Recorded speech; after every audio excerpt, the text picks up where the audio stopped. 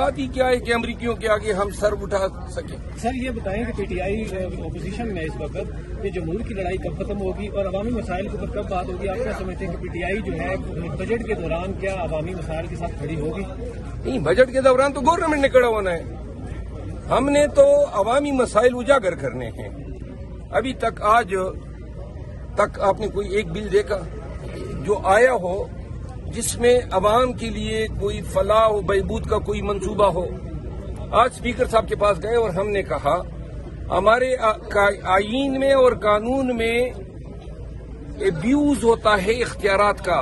मिसाल के तौर पे दफ़ा 144 डिप्टी कमिश्नर जो है, आटे की तरसील पे भी 144 लगाता है।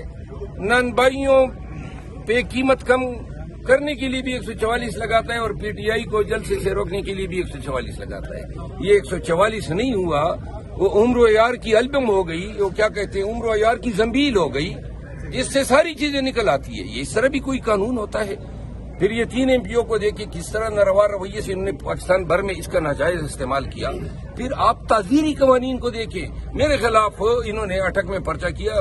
मेरे खिलाफ सबसे पहले पर्चा अटक में डिप्टी सुप्रिटेंडेंट जेल ने कराया कि मैं और उमेर न्याजी साहब ने उन पर हमला किया, उनकी वर्दी पाड़ दी और उनको मारा पीटा।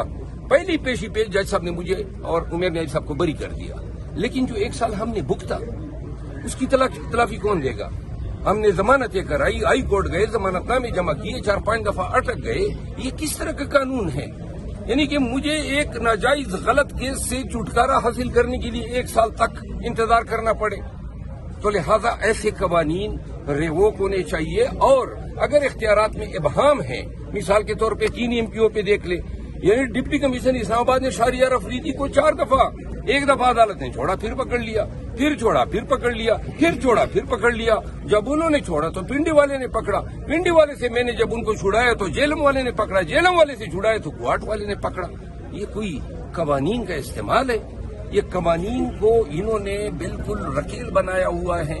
इस तरीके से पाकिस्तानियों के साथ सलूक और रवैया होता है। हमें चाहिए 144 तीन एम पी ओ सोलह एम पी ओ और वो ताजीरी कवानीन बिलखसूस एफ़ आई आर के इंदराज जो है जो दफ़ा एक सौ चौवन ताजीरात जब्त फौजदारी के तहत रेगुलेट होता है, इनको हमें अपडेट करना चाहिए और पाकिस्तान के लिए ऐसे कवानीन बनाने चाहिए कि आज अगर मियाँ शबाज शरीफ या मोहसिन नकवी साहब जाए भी तो किसी भी पीटीआई के बंदे को चाहने के बावजूद भी पुलिस के ज़रिए गिरफ़्तार न करा सके। इसको कानून की हुक्मरानी कहा जाता है इसको रूल ऑफ़ लॉ कहते हैं। खजाना बारहाल ये कह चुके हैं कि अगले अगले माह जब मिशन पाकिस्तान आएगा तो जो आगे बजट की तैयारी होनी है उसमें हम मिशन से मुशावरत करेंगे। मिशन मतलब तैयारी में शरीक होगा इस पीटीआई को कोई कंसर्न नहीं है कि आईएमएफ मिशन बजट की तैयारी में शरीक होगा नहीं आईएमएफ बजट जो है आइंदा के लिए हमारे निकाहनामे भी लिखेगा।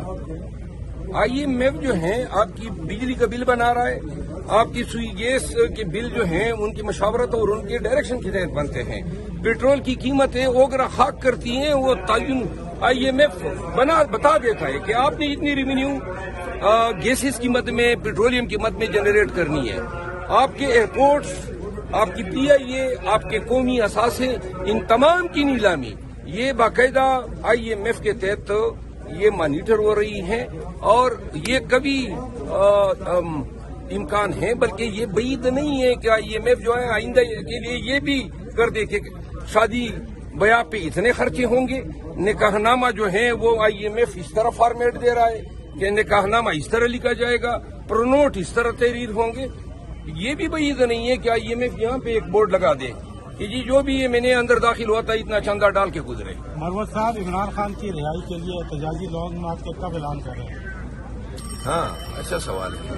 लॉन्ग मार्च का तो मैंने सुना था कि पार्टी ने जुमे के लिए ऐलान किया हुआ है और मैं जुमे को एहतजाज की सिलसिले में धीर जा रहा हूँ। लेकिन मैं मीडिया को भी कहता हूँ और पाकिस्तान तहरीक इंसाफ मुल्क भर में तमाम वर्कर्स को कहता हूँ। कि आँखें रखो अपनी लीडरशिप पे और देखो कि कौन सी क्यादत बाहर निकल रही है और कौन सी नहीं निकल रही है। जो नहीं निकल रही है उनका जमीर जोड़ो सोशल मीडिया पे उनको बताओ कि खान कहता है मेरे लिए निकलो। और जो नहीं निकल रहे हैं वो खान के अहकाम जो हैं उनको पामाल कर रहे हैं।